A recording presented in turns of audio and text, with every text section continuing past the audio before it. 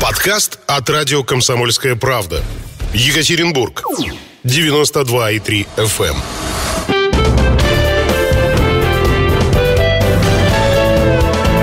эм. Гость в студии. Это радио «Комсомольская правда», Екатеринбург, 92,3 FM, эм, Нижний Тагил, 96,6 и Серов, 89,5. Кроме того, нас можно слушать и принимать в интернет-вещании на сайте kp.ru и на сайте радиокп.ру. Меня зовут Людмила Варакина, звукорежиссер Павел Кислицын. И сегодня мы общаемся с председателем Комитета по социальной политике Законодательного собрания Свердловской области Вячеславом Погудиным. Вячеслав Викторович, здравствуйте. Здравствуйте, Людмила, здравствуйте, радиослушатели.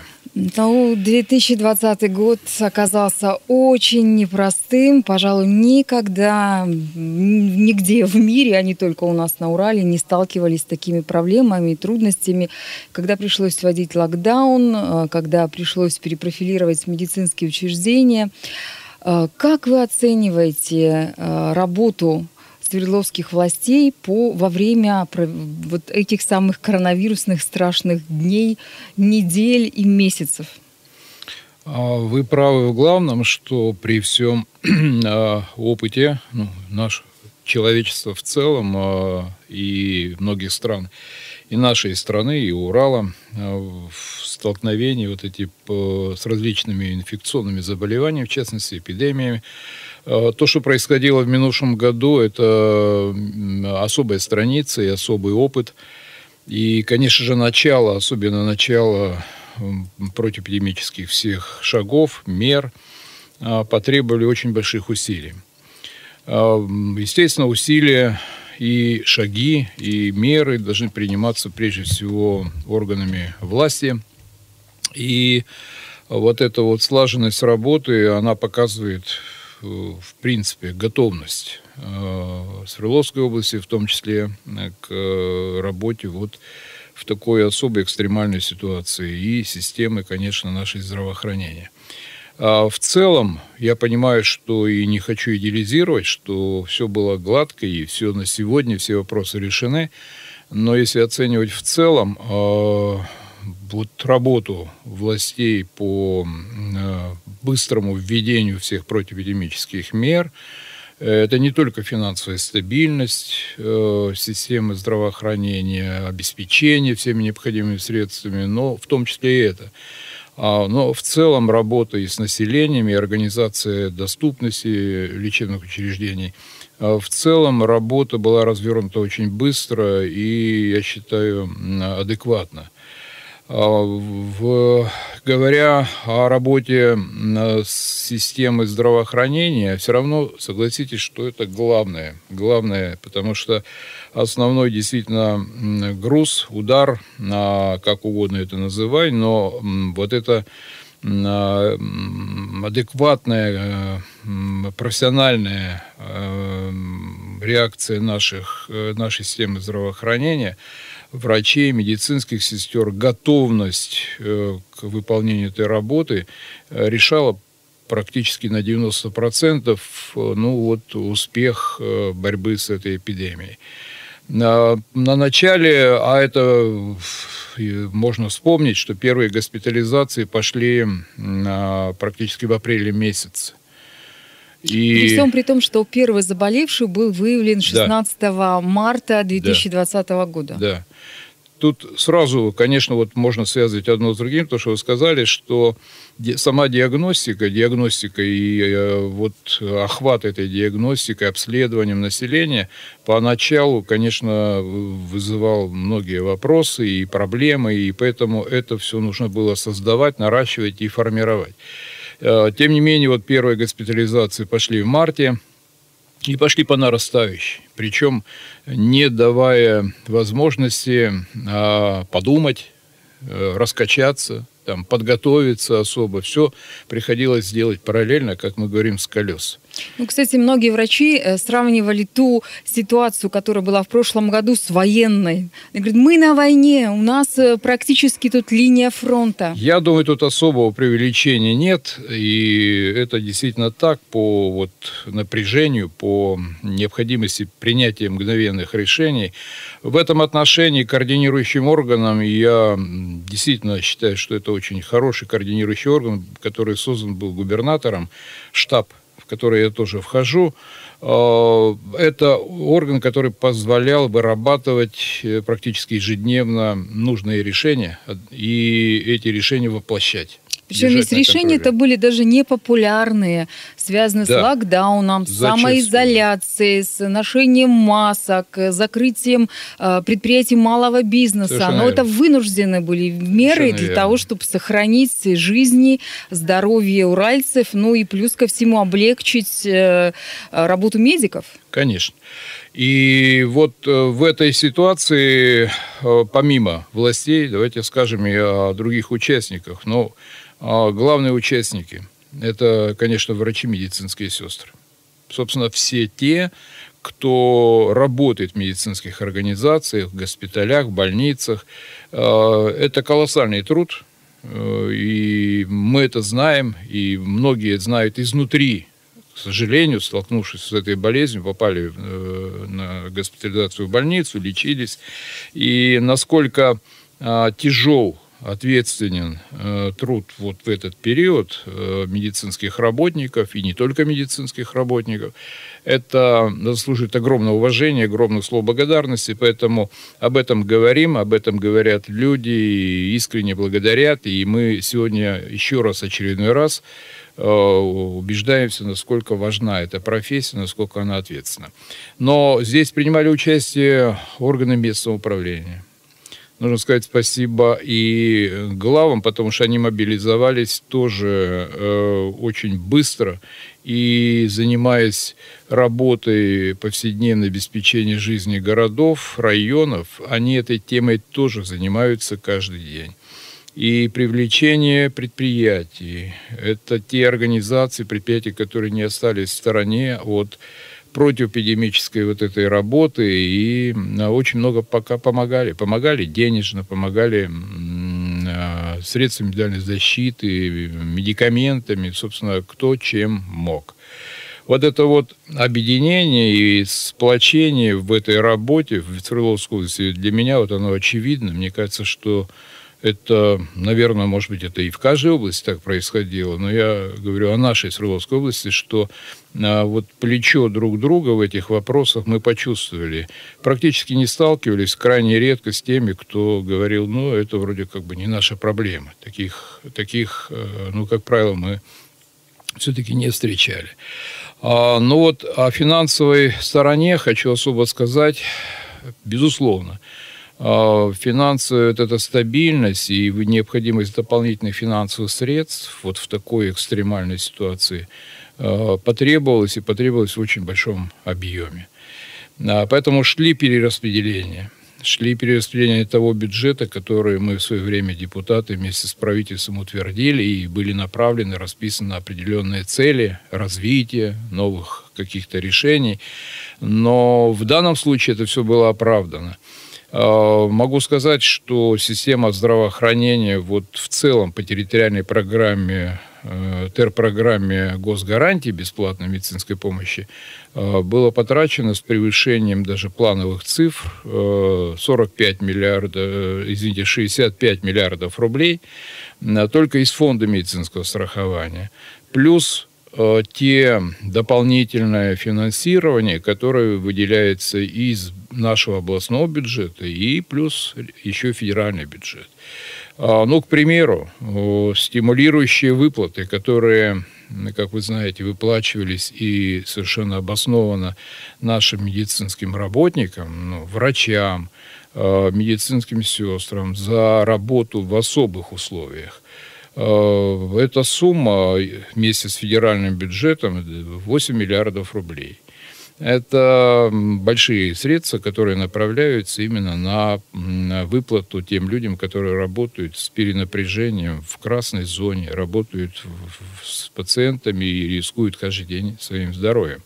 А, собственно, мы осознанно понимая и осознанно пошли по пути Э, идем по пути того, что, может быть, инфраструктурные какие-то вопросы, строительство новое, а, новые запланированные а, ремонты и приобретение дорогостоящего оборудования несколько а, сократились и в ряде случаев значительно для того, чтобы направить на первоочередную вот такую вот задачу спасения и противоэпидемической борьбы, которую проводим.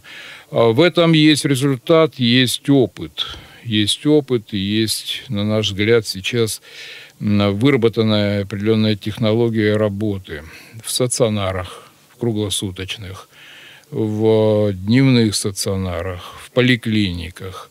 Но есть и задачи, которые еще э, решать даже сегодня по доступности. Ну, например, мы анализируем и анализировали вместе с Минздравом и вопросы, по поводу чего идут обращения, жалобы, в том числе а, вот в 2020 году населения. А, это, ну, понятно, вот это тоже слепок или отражение того, что каждая семья, каждый человек, конечно, жил в тревоге, в страхе, э, заболеть, а если столкнулись с болезнью, то определенные проблемы. Да. У нас сейчас небольшой перерыв, а затем мы вернемся в студию и продолжим разговор.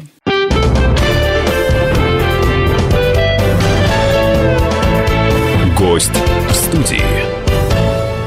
На радио «Комсомольская правда» Вячеслав Погудин, председатель Комитета по социальной политике Законодательного собрания Свердловской области. Говорим мы о том, как э, жила и живет э, Свердловская область, Средний Урал в условиях пандемии коронавируса и что нас ждет дальше.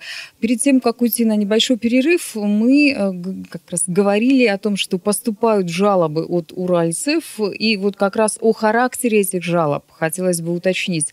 Эти жалобы связаны с оказанием медицинской помощи, они связаны с тем, что люди, находясь в маленьких, небольших населенных пунктах, не могут получить ее, ее, либо это что-то было другое, кроме этого? А, ну вот 2020 э, год, анализ э, уже по итогам года обращений, жалоб э, по причинам показывает, собственно, главную тревогу. Это связано, конечно, с эпидемией, с пандемией, с коронавирусной инфекцией. А, преимущественно это жалобы касались, и мы знаем, что фактически так это и обстояло дело вот поначалу, особенно в первые месяцы развития пандемии. Это вопросы а, невозможности дозвониться до поликлиник, до первичного звена, где ну, хотя бы получить вот возможность проконсультироваться или пригласить доктора – эти трудности. Это вопросы трудности прохождения лабораторной диагностики. Да, волнение, необходимость тестирования, вообще понять, болен или не болен, но действительно там сбои и трудности реально э, были, существовали и так далее. Э, ну и э, еще одна сторона, которая тоже потребовала определенного времени для того, чтобы ее отработать, это лечение, доступность лечения на дому, э, не стационарного, а именно на дому. Э, по ряду, в ряде случаев были, конечно, сложности и по круглосуточным стационарам, там долгое ожидание скорой помощи и долгое ожидание в приемном отделении для того, чтобы пройти. Но вот эти все вопросы, безусловно, решались, решались не только системой здравоохранения, Этим занимался и штаб, который возглавляет губернатор, анализируя на каждом штабе, а это еженедельные штабы, иногда два раза в неделю, а, вот каждую ситуацию по нашим населенным пунктам, по городам, крупным, небольшим, а, сельским территориям и так далее. Поэтому, да, это серьезная очень такая э, работа, которая проводится и сейчас. Во время пандемии э, в Свердловской области уменьшилась плановая медицинская помощь. Отменялись плановые приемы, операции запланированные. А, сами больницы перепрофилировали под э, ковидарии. Как сейчас в области идут дела? То есть все вернулось, как это было э, до пандемии, либо еще э, кое-где в каких-то моментах, в каких-то клиниках э, не оказывается плановая помощь, либо не в том объеме, как это было раньше. Да. Вынужденная мера, причем она общероссийская, безусловно, противоэпидемическая мера, сокращение, а в большинстве случаев и прекращение плановой помощи.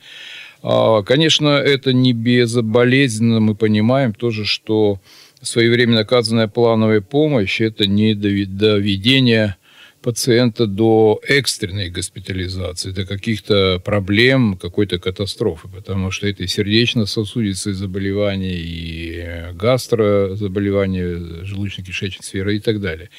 А, но вот э, плановая помощь это сейчас а, уже практически восстановлена в области.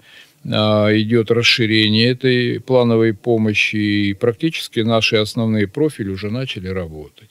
Это очень важно, и сейчас вот э, как баланс для того, чтобы нам как можно быстрее сократить вот этот провал э, в госпитализации, который был вынужден в 2020 году. Э, отделения работают, как я знаю, наши профильные специализированные отделения работают практически с полной нагрузкой.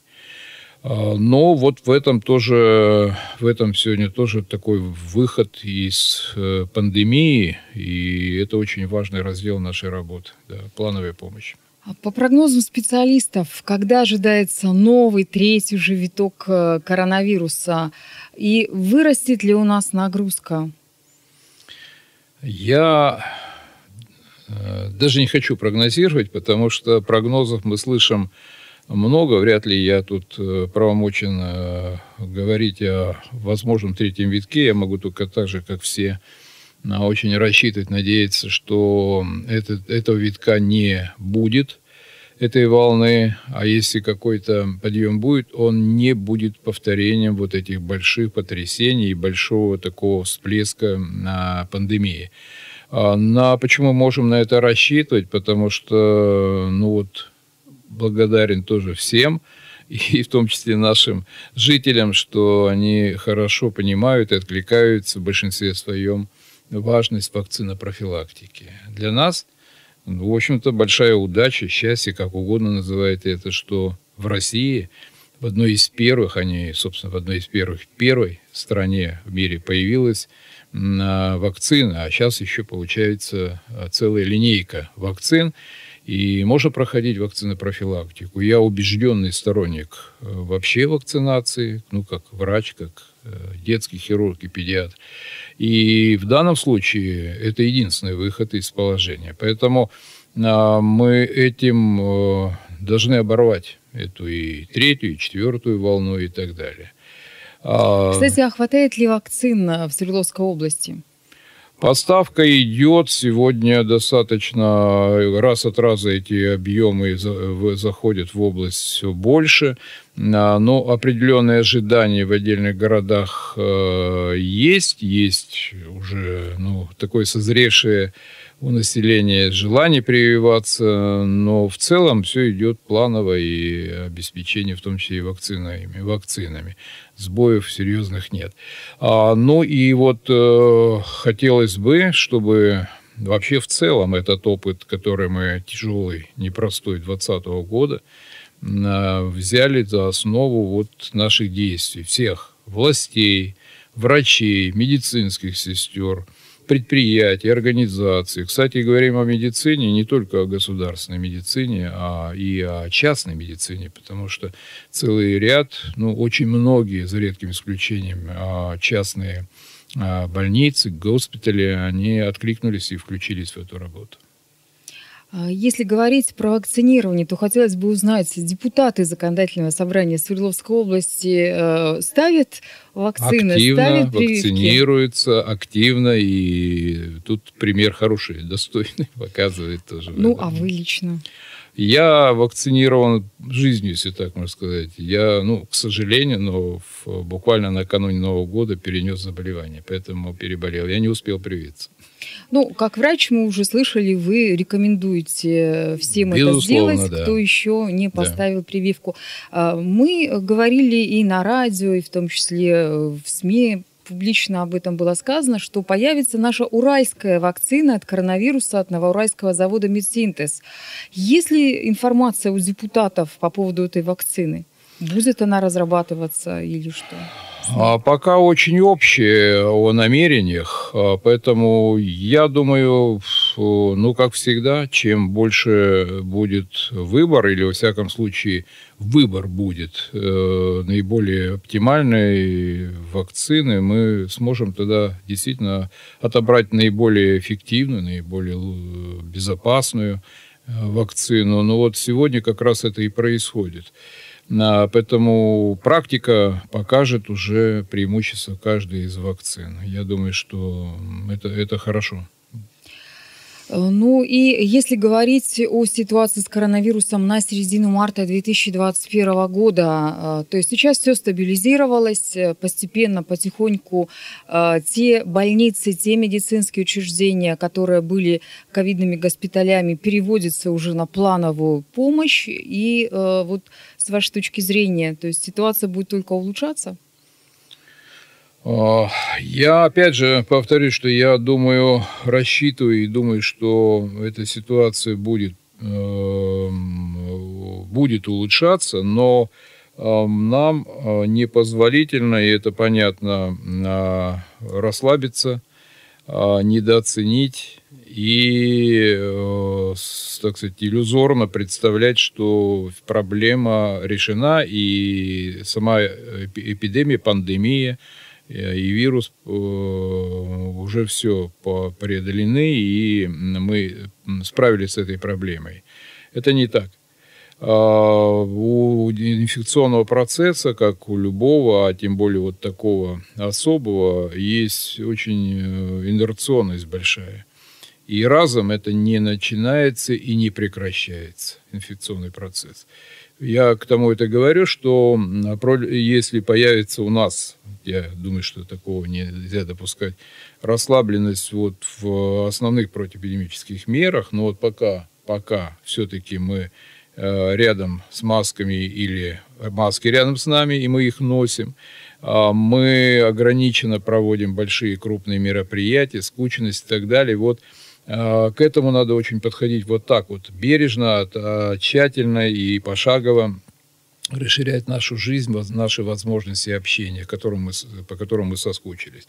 Но другого не дано, потому что в противном случае эм, мгновенная ответная реакция со стороны вируса может последовать. Поэтому я думаю, что здесь нам помогут и эпидемиологи, и врачи, и тот опыт, который у нас за плечами. У нас сейчас небольшой перерыв, а затем продолжим разговор с Вячеславом Погузиным.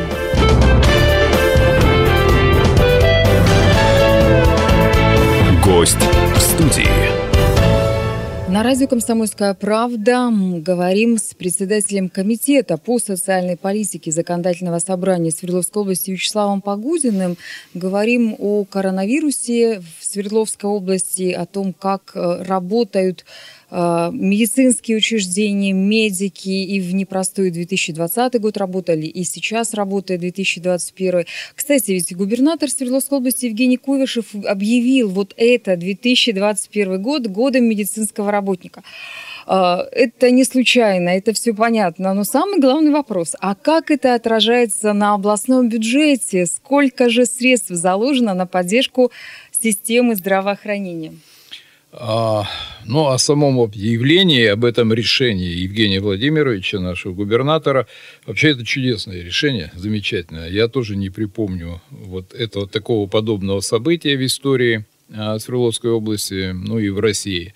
Я думаю, что такое, вот такое провозглашение этого года – предполагает собой, э, ну, не просто э, большое внимание к врачам, медицинским сестрам и к этой отрасли, но и очень большие усилия, в которых нуждаются вот в помощи системе здравоохранения во всем обеспечении, в дополнительном стимулировании материальным труда медицинских работников, в ремонтах, которых нуждаются наши больницы. Вот я думаю, что именно с этой целью, наверное, губернатор и э, сделал этот шаг у нас в области для того, чтобы мы еще раз переоценили, очень много сделали для того, чтобы здоровье наше здоровье а, было укреплено а, надежной, хорошей, выстроенной, хорошо выстроенной системой.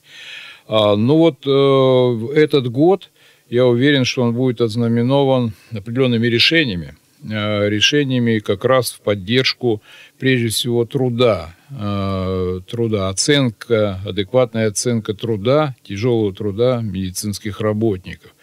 И это уже происходит, я уже говорил о стимулирующих выплатах, и напомню, в, в феврале, э, в феврале 2019 года был принят закон, который внесен был губернатором, о выплатам э, врачам, э, которые носят почетные звания заслуженные. Это федеральное звание, но они э, не подкреплены, так сказать, материально, поэтому вот эти выплаты установлены были нашим региональным законом, мы его принимали. И сейчас, вот буквально вчера, Э, состоялось заседание, как вы знаете, законодательного собрания, и мы э, приняли э, дополнительные изменения в этот закон, потому что учли еще одну категорию, которая не была учтена в том февральском 2019 года законе. Это те врачи, которые тоже носят звание заслуженных, но еще РСФСР, не Российская Федерация, а еще до 90 -го года. А единое условие, единое условие, которое, требование, которое необходимо, что специалист работает на территории Свердловской области, этот врач, и, или работал, и работает не менее пяти лет по специальности в наших медицинских организациях. Это тоже как факт вот такой вот... А, кстати, вот эта уральская наша местная надбавка, она велика? Какая сумма? Нет, она не велика, пока это, ну, невелика. Я, потому что тоже так же, как, наверное, все считаю, что она должна вырасти, она и будет расти, она тем более сейчас по закону она индексируется. А, это тысяча рублей ежемесячно. Ежемесячно тысяча рублей выплачивается а, но я так полагаю, и мы с депутатами, когда принимали, мы как раз э, тоже э, видели перспективы, что само, а, сам сделанный шаг вот присвоение такой, такой выплаты, утверждение позволит потом ее развивать и увеличить, конечно, если позволит бюджет в объемах. Кстати, о бюджете, ну вот э, сегодняшние наши многие вопросы, развития и так далее, конечно, они будут а, нуждаться в увеличении доходной части бюджета. Пока как вы знаете, мы приняли бюджет на, вот на 2021 год с дефицитом. И задача главная сейчас, чтобы именно там наш реальный сектор экономики, э, промышленные предприятия, э, в целом организации предприятия позволили нам формировать достойный доход для того, чтобы направлять на здравоохранение средств. По э, системе здравоохранения, вот если грубо там, да, вот неточные вот эти вот э, цифры взять, а если грубо в среднем, какая сумма заложена на этот год? Напомню, что а, из нескольких составляющих идет э, финансирование, собственно, это уже знают и наши жители. А, большая доля или львиная доля все-таки идет по государственным обязательствам федеральным в стране. Это фонд медицинского страхования. А, на сегодня вот э, наша территориальная программа госгарантий, которая финансируется на оказание услуг, она э, составляет 65 э, миллиардов рублей. А, помимо этого, мы Свердловская область. Участвуем тоже, в, безусловно, в финансировании системы здравоохранения, выплачивая за неработающее население свою часть страховых взносов и направляя средства вот на Э, материальную, так сказать, базу на инфраструктуру в виде ремонтов, строительств, э, приобретения там, транспорта и так далее, и так далее. И эта сумма достаточно велика, она э, по разным годам от, там, от 20 до 30 миллиардов рублей, но вот в данном случае в сочетании это все выходит уже на сумму там, свыше 80 миллиардов рублей. Вот. Это, если говорить так э, более, может, понятно и восприимчиво, то снижение, несмотря на трудный экономический период, вот этот, а, финансирование отрасли не произошло, наоборот, произошло увеличение. И второй показатель, мы его отслеживаем вместе с правительством очень э, э, так тщательно, э, кредиторская задолженность.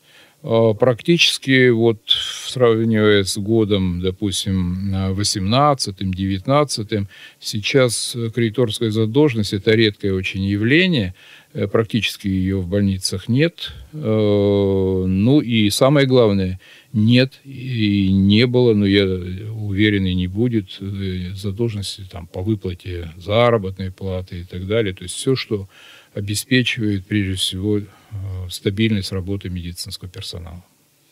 С 1 января медицинские учреждения Екатеринбурга и системы Груздрава перешли в ведение Министерства здравоохранения нашего региона. А уменьшится ли бюджет на здравоохранение города Екатеринбурга в связи с этим переходом? Знаете ли вы об этом или это просто домыслы?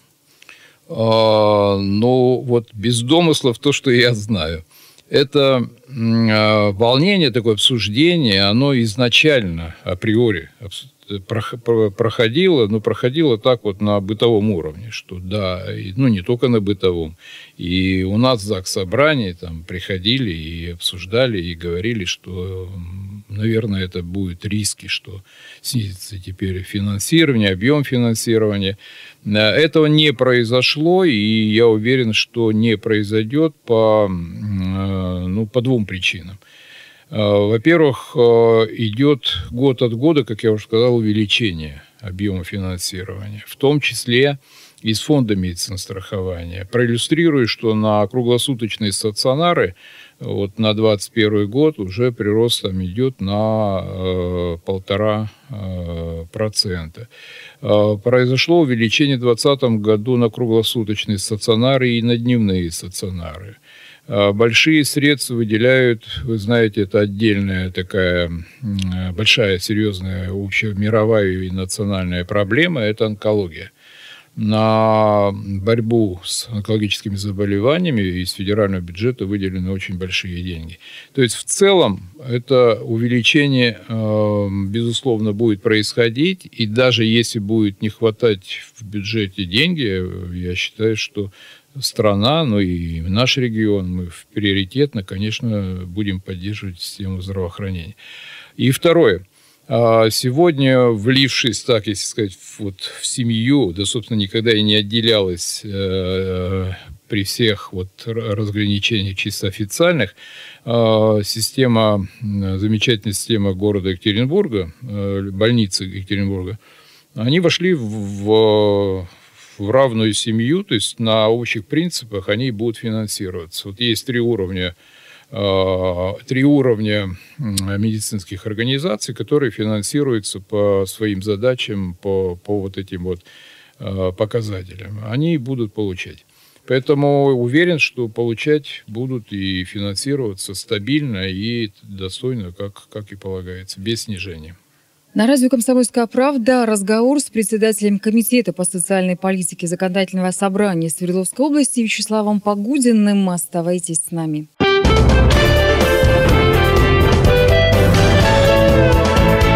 Гость в студии. Это радио «Комсомольская правда», Екатеринбург. Людмила Варакина у микрофона, а мой гость в студии – это председатель комитета по социальной политике Законодательного собрания Свердловской области Вячеслав Погудин.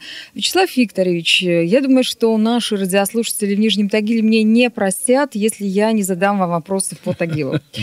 Потому что вы э, из Нижнего Тагила, вы э, возглавляли долгое время медицинские учреждения, детскую больницу там, и много лет были заместителем главы города по социальным вопросам. Поэтому, да, конечно спасибо. же, да. э, Нижний Тагил для вас родной, любимый, много средств и энергии, и ваших лоббистских возможностей было использовано для того, чтобы в городе появился перинатальный центр.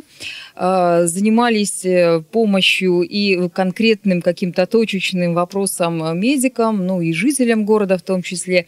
И наверняка вы в курсе по тем проблемам, которые существуют в медицине. Ну вот, в частности, самая нашумевшая история связана со, со, со станцией скорой помощи когда э, сотрудники, там, и медики, и водители были недовольны решением э, перевода э, машин на аутсорсинг. Э, были даже обращения к губернатору, были какие-то пикеты. А в феврале появилась информация, что даже вот те автомобили, которые сейчас уже на аутсорсинге находятся, они какие-то плохие.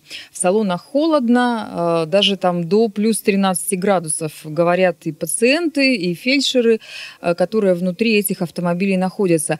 Знакомы ли вы с этой ситуацией и что можете сказать, как прокомментировать?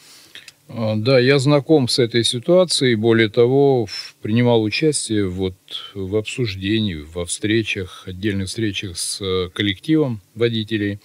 А, кстати, ну вот в зале, когда увидел, я увидел э, многих тех, э, кто уже не один десяток лет работает на скорой помощи, и знаю их не понаслышке, это очень опытные и ответственные люди с, с особым ритмом жизни, работы ответственной. А, я думаю, а, следующим образом, собственно, об этом и сказал коллективу, что моя а, задача как депутата от Нижнего Тагила, знающего хорошо и много лет этот замечательный коллектив, ну, собственно, наверное, как и всех остальных, и главы города, и министра здравоохранения, но я говорю о себе, как о депутате – быть рядом э, в этой ситуации, перед непростой ситуации перехода. Волнуются ведь люди о чем, и они об этом говорили. О завтрашнем дне, а как скажется этот аутсорсинг и этот переход, эти изменения на заработной плате, на стабильности его работы и не выпроводит ли человека завтра с работы и рассчитают его по тем или иным причинам. А, то есть и те вот э, гарантии, те социальные, ну, небольшой хоть пакет, который у него раньше был стабилен, это сохранится ли это или нет. Вот эти э, обычные житейские волнения, которые, наверное, любого могли бы сопровождать. А, разубеждали их в этом, безусловно, министр здравоохранения говорил об этом, говорили об этом и Э, принимала участие уполномоченный по правам человека Татьяна Георгиевна Мерзлякова. И, в общем-то, я сегодня, на сегодня, я не теряю из виду эту ситуацию. Мы общаемся с главным врачом, которого я тоже знаю более 30 лет, о том, как идет работа и есть ли какие-то сбои в обеспечении, в работе и так далее. А, одним словом, вот э, при всех волнениях, э, как всегда, главным все-таки, наверное, оценщиком или вот э, тем индикатором, который может показать, как пойдет эта система, как она дальше будет работать, это только жизнь и практика потому что много было волнений, много было горячих споров, там и прогнозов, и нам рассказывали, что это вот приведет тому-то, это приведет тому-то. А сегодня я думаю, что вот пройдя уже определенный путь, мы, безусловно, будем тщательно смотреть э, за тем, как работают люди. Если там появятся какие-то сбои, значит, соответственно, мы, безусловно, будем занимать сторону наших работников. Но пока, насколько я знаю, работа скорой в Нижнем Тагиле, она стабильна. Ну, кстати, э, были жалобы во время пандемии коронавируса от тагильчан, что э, их из Нижнего Тагила в другие города перевозят, в том числе вот в Сесерть. А, как вы с ними разбирались, вот с этими людьми, с этими жалобами в тот момент? Ну, большая работа, как говорят, в ручном режиме. То есть по конкретным обращениям, и не только я, я уверен, многие-многие руководители – а, и мне приходилось этим, приходится этим заниматься, решать конкретные вопросы, обращения, там, по, которые касаются судьбы человека там, и жизни или близких. А, решаем именно вот так, индивидуально. Но маршрутизация это выстроена не для того, чтобы усложнить жизнь, а просто сохранить нужно было и оказание экстренной помощи, предположим, гнойной, в вопросах э, гнойной хирургии или там э, оказание помощи сердечно-сосудистым больным с инфарктами миокарда. Но не каждое отделение, если этот больной заразился коронавирусом, а такие случаи, к сожалению, были нередки, когда человек с э, вот, заболеванием сердечно-сосудистым, острым заболеванием, а, еще имеет и ковид. И вот перемещение пациента было связано с тем, чтобы вывести его из чистого профильного отделения и не заразить всех остальных. Только с этим было связано. Это и верхнюю пышму из Нижнего Тагила могли увезти, или из э, там, верхней Салды могли увезти в Екатеринбург или еще куда-то, ну, в ту же Сесерть.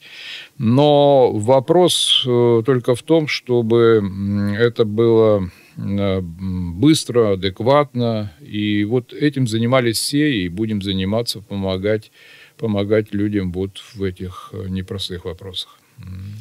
Кстати, э, медицина Екатеринбурга э, сейчас только впервые, с 1 января, да, перешла в видение Министерства здравоохранения, и поэтому и жители города не понимают, и медики, может быть, не понимали, что это будет, как это будет. А Тагил-то давно так живет. Э, как вы оцените, лучше стало? А вы знаете, во-первых, я очень радуюсь, что вот сегодня март, уже март, да, на календаре, что жители Екатеринбурга не понимают, ну, не знают. Ну, изменений там знают, непонятно да, пока. Да, не ощущают. Что, что было, что вот не это было. главная задача главная помощь, всех, оказывается. да, всех, Министерства здравоохранения, всех властей и, естественно, руководства города, главы города, в том, чтобы а, жители не почувствовали этих переходов. Да и не должно этого быть мы должны, ну, в общем, решать э, ежедневно многие вопросы по оказанию помощи, но так, чтобы это не создавать никаких проблем и трудностей для жителей. В Нижнем Тагиле а, действительно мы перешли на государственный уровень достаточно уже срок. А, сегодня, вы знаете, я вот на период, когда все это происходило, были разные мнения, и, наверное, даже сейчас где-то они существуют, что вот лучше бы, если бы это было муниципальным. А вот сейчас вот проблема такая появилась, вот такая. Я хочу сказать, что в целом, даже подтверждая, могу подтвердить цифрами, мы э, никогда бы в Нижнем Тагиле или очень долго бы еще не смогли найти средства на приобретение, допустим, каких-то дорогостоящих видов техники, оборудования, диагностики. Ну, давайте так, назовем конкретные примеры.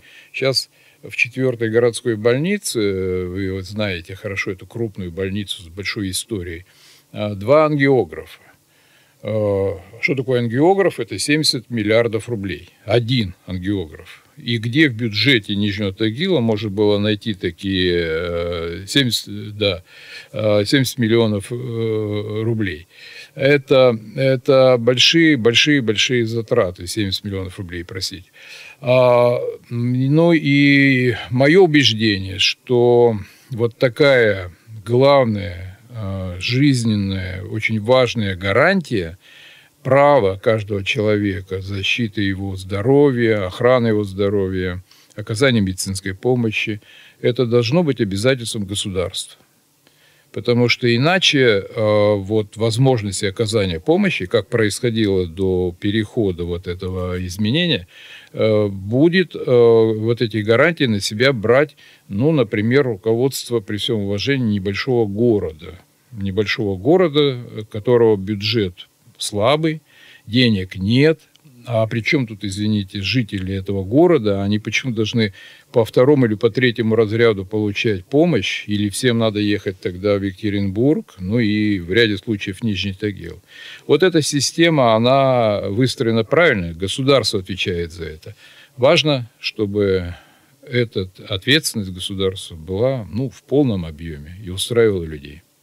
Спасибо вам большое. Напомню, что мы беседовали с председателем Комитета по социальной политике Законодательного собрания Свердловской области Вячеславом Погудиным. А, до свидания. Меня зовут Людмила Варакина. И вы слушаете радио «Комсомольская правда».